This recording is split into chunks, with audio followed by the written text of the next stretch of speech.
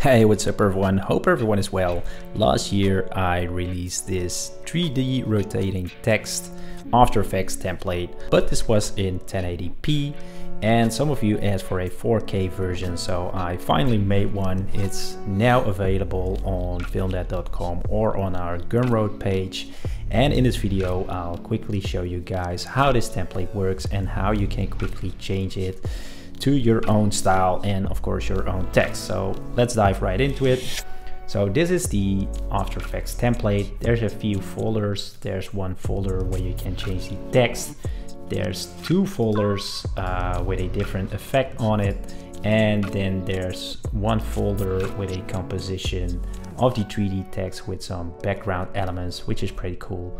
And finally, the fourth folder is just the elements itself, which are all EPS files, so you can actually play around with it in Illustrator yourself, scale things, uh, adjust them, whatever.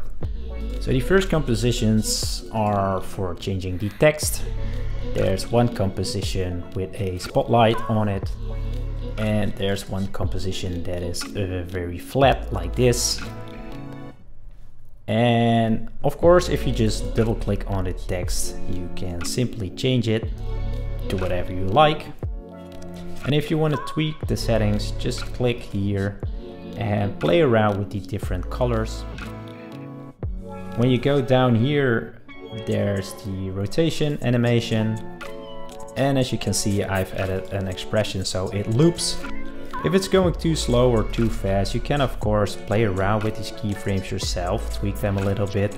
It's pretty easy to, uh, to adjust. So that's it for the text compositions. Now when we head over to this folder, you can see our text composition is right here, but it has another layer with fractal noise.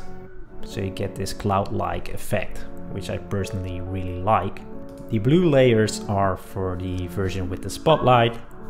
If you want to use the version that is flat, just disable these two and enable these two layers.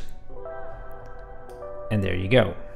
Now, when we head over to the second folder, again, you have a layer with the spotlight and a layer of the flat text, but this time I've added some noise to it. One for the spotlight and one for the flat text.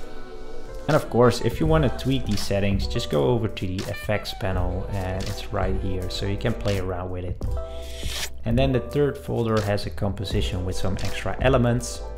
I've added six different elements that all have a slightly different look, so you can really spice up your animation. Of course, you can also add your own videos to the background and uh, really make it pop. And like I said, this time I added EPS files so you can actually edit them in Adobe Illustrator and adjust them to your own needs. If you want to change the color of one of these elements, just simply click on them, go to the effects control panel and over here you can quickly change the color to anything you like. Very simple.